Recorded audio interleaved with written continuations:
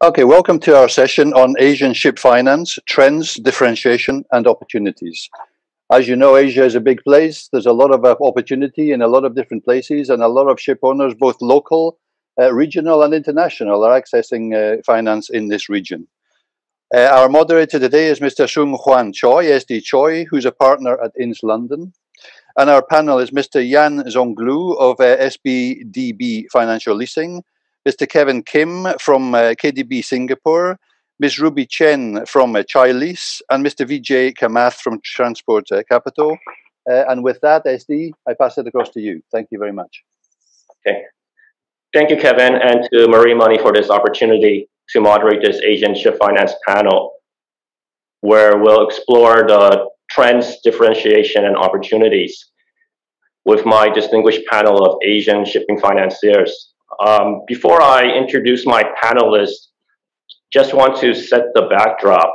You know, whilst this wretched pandemic has hit most of us and this industry and sectors hard, our shipping, our industry shipping has proved to be resilient.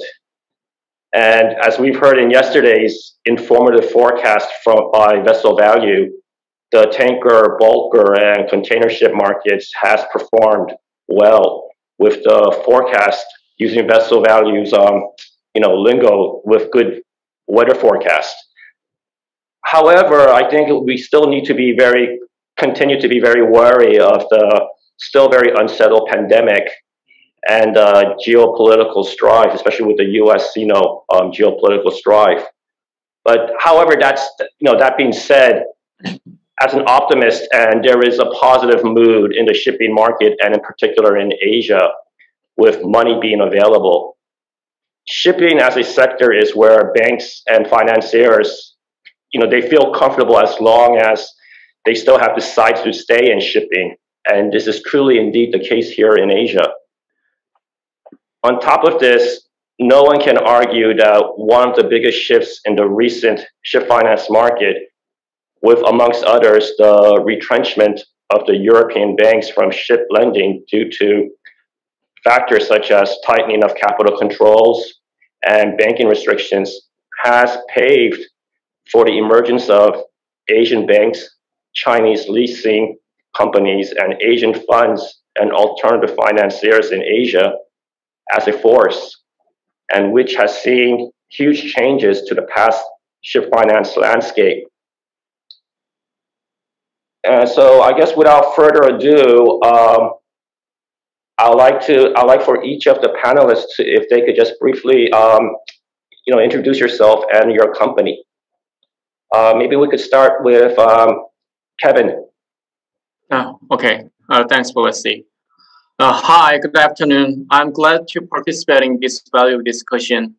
I'm Kevin, Kevin Kim from Korea Development Bank, in short KDB, and I'm in charge of the originating ship financing deals for, for non-Korean clients. At first, uh, for better understanding of, of our bank, KDB was established in 1954, right after Korean War was ended, and now 100% government-owned banks, providing strong financial support to Korean clients, but also non-Korean ship owners which order their vessels at Korean shipyards.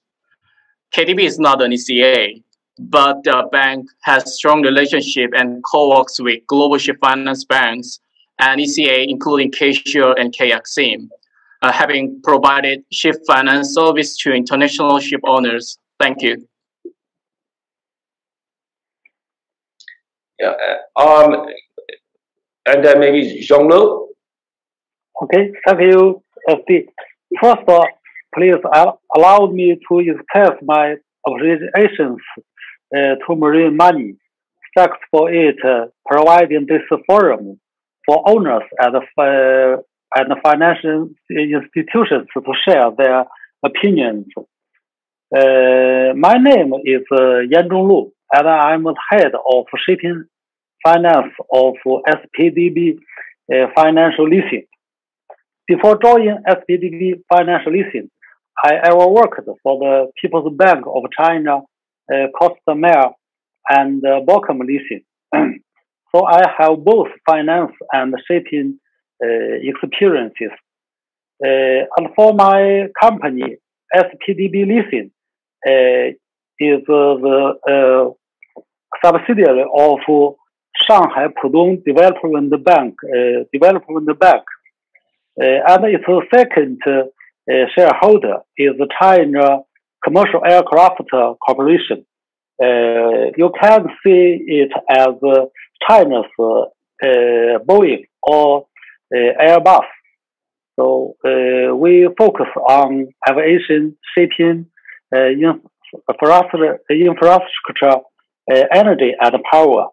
Uh, so that's uh, uh, now we have our assets have exceeded 10 э, он тоже выигрышен.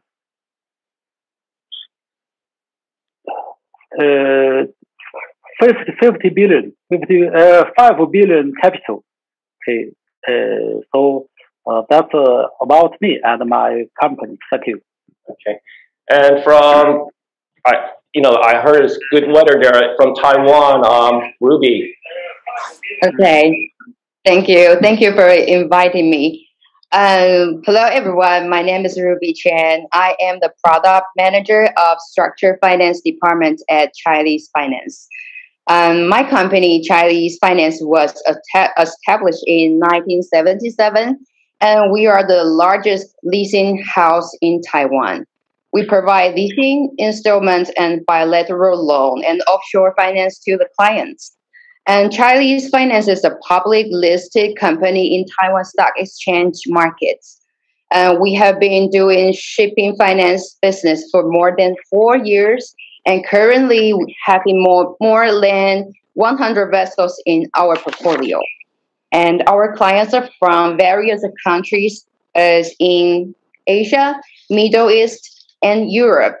And we are still growing and developing our business business into uh, different countries.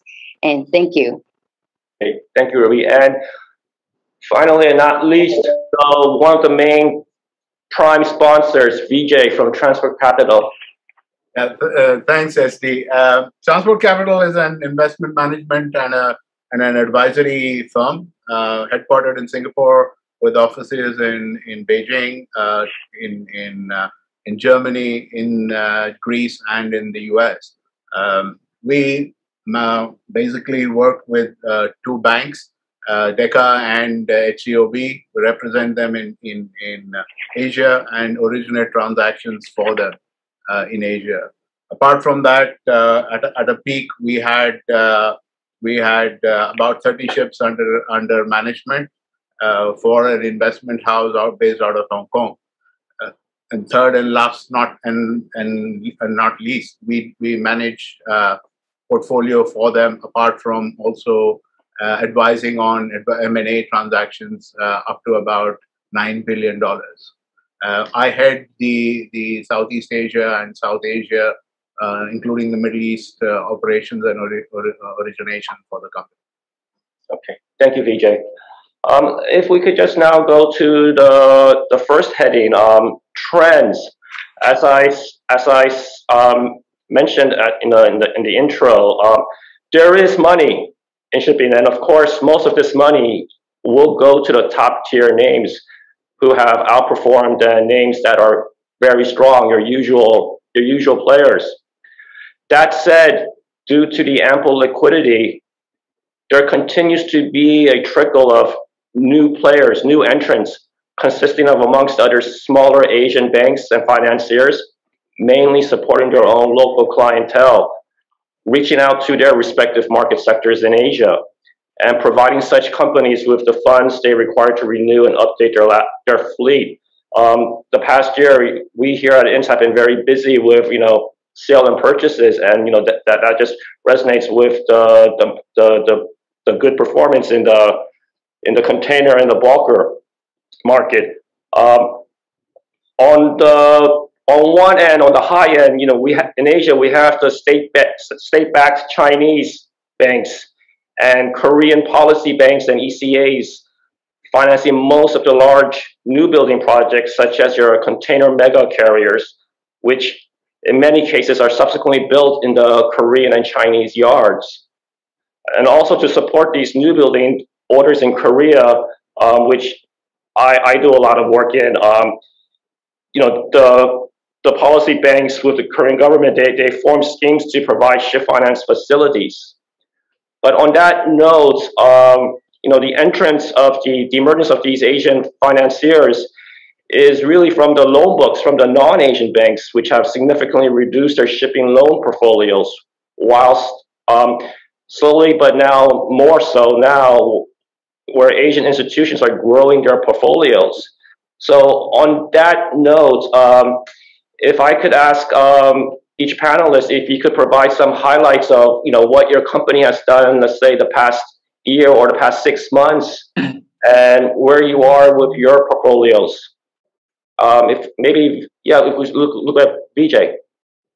Yeah, th- thanks, SD. I mean, as I said earlier, we represent two two uh, German banks in in uh, in Asia, and in in the uh, in the in the time since the company was established in 2013, we've now reached a billion dollars in financing. To provide some highlights of you know what your company has done, let's say the past year or six months, and where you are with your portfolios.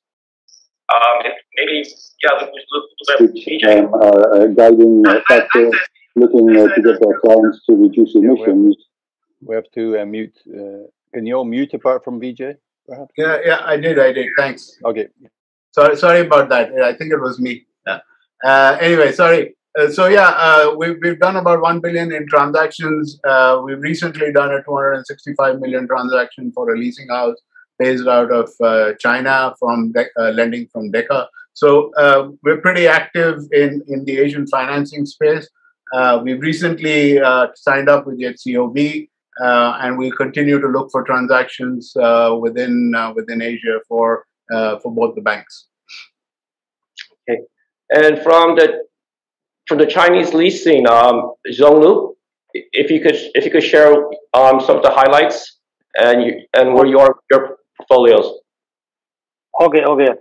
Uh, SPDB, uh, SPDB Financial Leasing started uh, business uh, shipping business in uh, 2018, uh, so it's a very short uh, time, uh, only about three years. Uh, but we grow very quickly.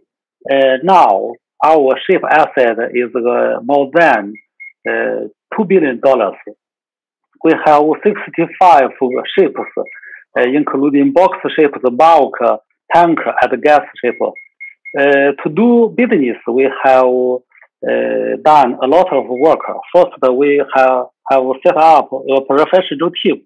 Most of our team members have uh, rich experience in shipping or in shipping finance. Uh, at the second, uh, with the help of our parent bank, we we are trying to further uh, decrease our uh, financing cost so we can make our products more competitive.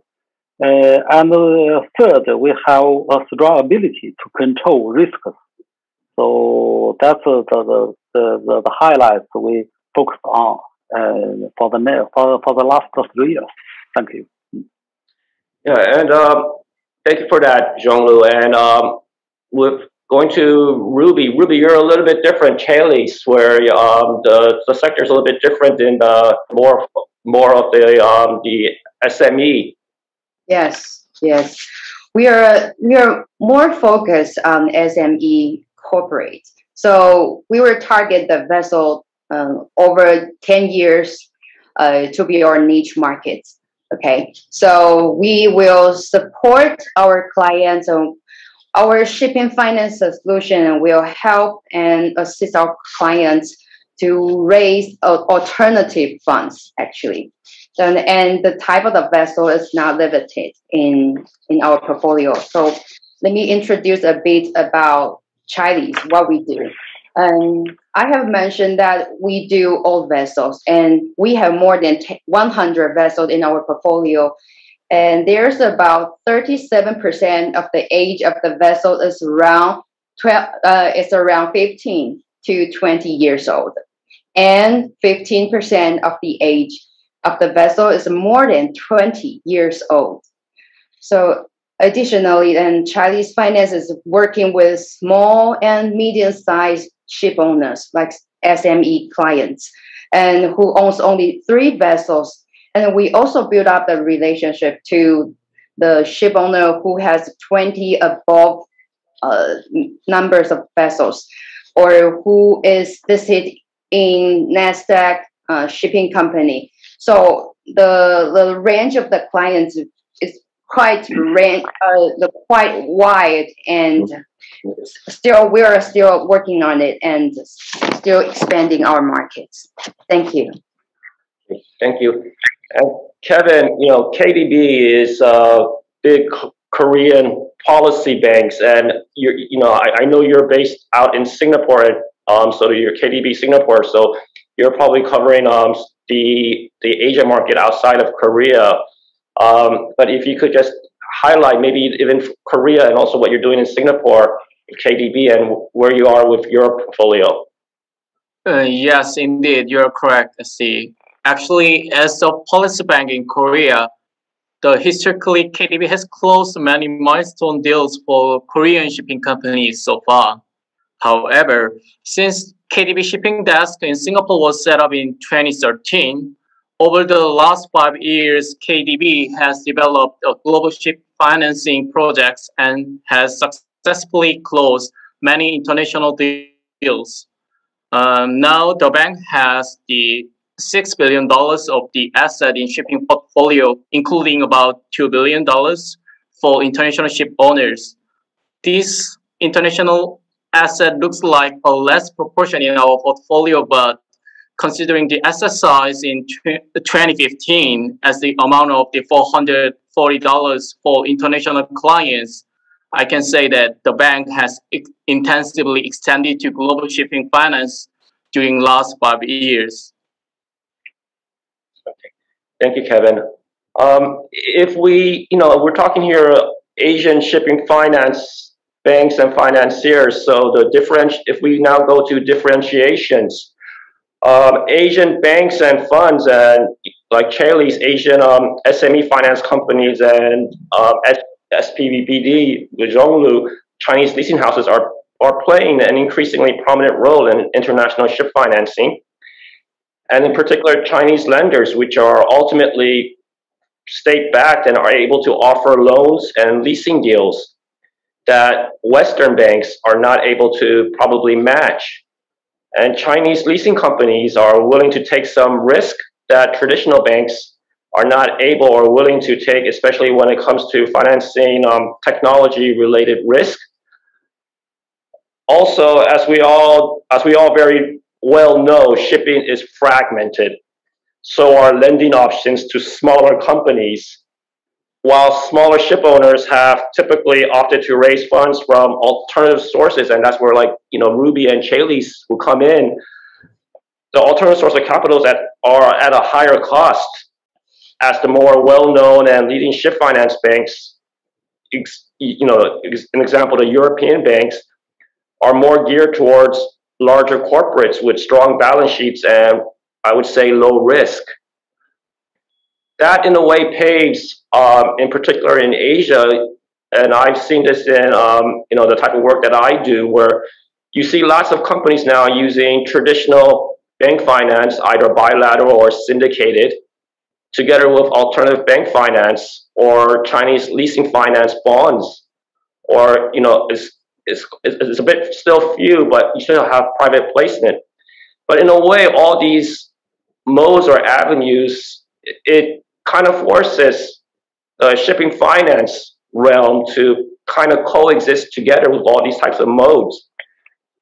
Um, and with that said, um, you know, it, I cannot I cannot um, skip this topic because this is a topic also where um, you know I was at yesterday's conference um, day one where ESG and su- sustainable financing it, it, it's it's so important. And we have to touch upon that here also in Asian and Asian banks. And the reason why I, I'm mentioning this is we have the Poseidon principle. And I believe there are now 27 signatories of international banks and financing institutions, but uh, there's a few Japanese banks and Japanese funds. But there isn't really any other Asian signatories, especially the what I would consider the the more of the more bigger um, players like in China and in Korea and also here in Singapore. So the progress of participation in sustainable financing or even a strong voice by the Asian ship financiers um, may, may be a, a, bit relatively slow. So with, with, that, with that kind of background um, and tackling just the first part of what I just said, um, in differentiations, what type of structures and terms and conditions and pricing, if you know, if you could speak about it, are you able to to work with and to to offer generally? And in that and in that vein, what kind of business model are you looking for in your in your client's project? If we could, if I could, um, you know, if we could go there, maybe with um, Ruby. Oh, okay. I see. Uh, about the ESG, uh, this topic is so essential. Uh, as I know, uh, please correct me if I were wrong. Okay, this topic is so Im- important and has been aroused internally at Chailease. And just mentioned that we have more than 15% of the vessel is age above uh, 15 years old. So, and I noticed the IMO has adopted a strategy uh, on the reduction of GHG emissions uh, from shipping sectors and aims to execute, execute this policy in 20 and 23rd. So that will be a big and massive uh, impact to our clients actually. So uh, we are still thinking and how can we do and what can we do to influence our client to make a change. And we're still thinking and still have discussions. Uh, probably we will have have to do or need to do reduce some interest profit to make it happen. But we're still thinking and still discussing. Okay. Yeah I, I, think I think that's I think that's right because even yesterday there was a there was a great um, panel yesterday on sustainable sustainable financing, and um, you know you have like ING, KFW, and then in Asia you had um, NAB and um, Clifford Capital, and from the agents from you know NAB and Clifford Capital is for for them is still you know um, um, you know reviewing and just you know it, it's and just taking this on board. So it's it's also I guess that same approach that you, that Chailease is going as well. Okay. Um, VJ, you know, you you know, with transport capital, you've seen a lot of transactions. So how, um, you know, it, you know, I, I guess my first query was the what type of structurings and the terms and conditions and pricing are you looking at, but also in the ESG front and sustainable financing, um, the position to promote this sort, sort of green ship financing. Um, and if there's taken into account more lending decisions being factored into because of this. Uh, th- thanks, SD. I mean, uh, uh, we, we, represent two banks, and, and we also work with many other private financiers. There's there's there's capital available from various sources, so we can marry uh, clients' needs to basically w- what uh, what fits them in the in the financing sector.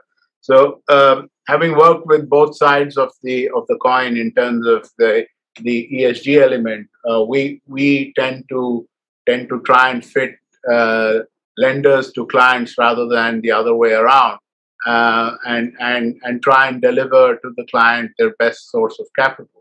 Uh, having said that, uh, ESG elements do come into discussions across the board, uh, but traditional finance is not going to go away very soon. Uh, so it's it's going to take its time to percolate down uh, across Asia, especially given the amount of of focus on on from the Chinese and from other sources for financing of of, of vessels across the board. uh, they have to make an entry, and then they will start looking at uh, at uh, sustainable sources and sustainable financing. In my view. Okay, thank you, thank you, Vijay. Um, Zhonglu, how, how is it with um, SPDB financing, financial leasing as a Chinese leasing house? In, in this uh, okay. Okay, I, I, I would like uh, to say uh, sometimes uh, the Chinese leasing houses will, will take uh, more risks than uh, Western banks. that's true. Uh, but I think that uh, because the business model of uh, leasing houses and the banks are different, for the leasing houses, Uh, we try to build our ability to uh, operate and manage uh, ships, not just provide money for ship owners. of course, it's a long way to to to get that uh, uh, capability. just for now, uh, we based on our fund management and our professional team, we can provide ship owners with competitive schemes. we will we will examine customer customers this time uh, financial performance, uh, ship price, then design uh, our uh, financing scheme. Uh, for that, uh, now we we are looking forward to establish a win-win business uh, model. Uh, as a financial institution, our advantage is get cheaper money. And for ship owner, its advantage is to operate operate ship, so we can help each other and build a win-win uh, business model. So, okay, thank you. Yeah, and Kevin, yeah, if based on from KDB. Uh, okay, okay. Uh, for the first part, first part of your query, that uh, KDB follows the mainstream of the conventional ship financing as other global shipping banks are doing at the moment. So we are focusing on merchant vessels such as container vessels, bulkers, tankers, and LNG vessels at the moment. And we usually point out the importance of the three C's in ship finance in principle, which are the cash flow of the project, collateral value of the asset, and credit strength of the recourse party. Of course, uh, in, in spite of the basic conditions to be dealt with for the bank that I mentioned just now, but uh, we have flexibility to manage manage specific terms in most cases. So I would say uh, KDB is a very commercial and customer oriented bank under the nature of the governmental institutions. And in terms of ESG financings, and KDB is willing to expedite the green ship financing area. So I think as long as the deal can be authorized by the reputable third party institutions for green financing, then maybe we are obviously open to discuss about it. Okay. Um, thank you for that. SD, I'm afraid I'm afraid our time is up. I mean, I know there's lots more to talk about, but yeah. uh, on this occasion, uh, time is up. I'm afraid. Okay. So well, I'd like I'd like to thank I'd like to thank you and, and all of our panelists. Um, we sincerely hope that by this time next year we're back all together and uh, meeting in a big room somewhere in Singapore. Okay. Thank you very much thank for the discussion. Thank you, thank you to my panelists.